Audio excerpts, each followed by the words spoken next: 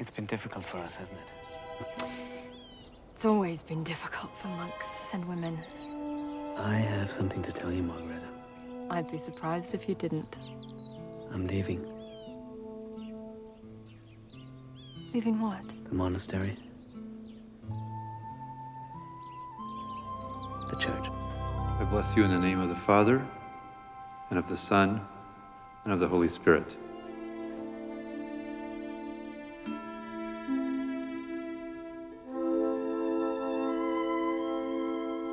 Men sit in prison, and I, I ruin cloth. Michael, I don't think it's... It takes only one bad thread to ruin the entire fabric, don't you see? Many of you know I am a weaver. For many years, the good Lord protected the world from my obvious talents as a weaver by confining me to a monastery. but somehow, somehow I escaped. Charity to greed. Truth becomes fabrication, salvation, citizenship.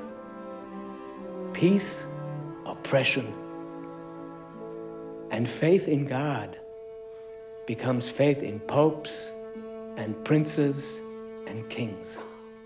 Some say they are the Antichrist. They may well be. May we accept protection if it's offered? If we accept a prince's force, we accept his authority. But Christ used force to scourge the temple. But not with a sword. But he wa- Hear me out. A Turk who wields the sword does so out of ignorance. For a Turk is not a Christian and has not heard the truth. But a man, a man who has pledged to Christ, think of it. He defends the faith. No! How can you bear to watch them suffer? How can you bear to cause their suffering? I could not take the first steps of this pilgrimage by myself. The final steps seem equally impossible to. to travel alone.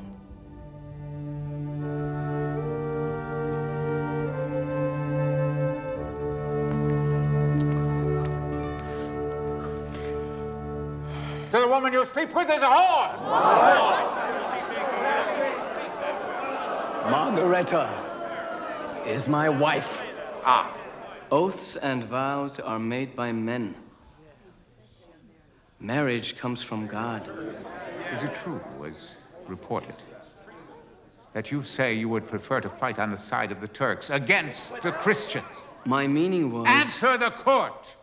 I said that if warring was right, I would rather take the field against so called Christians if, as you state, Turks know nothing of the Christian faith, then they are but Turks of the flesh. In the name of the Empire, But you- Michael Sattler, You, and who would be Christians, yet persecute Christ's followers,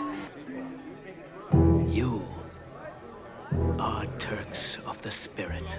iron tongs shall tear the seducer's flesh seven times between his first ordeal and the fire, and then his body shall be burned to powder as an arch heretic.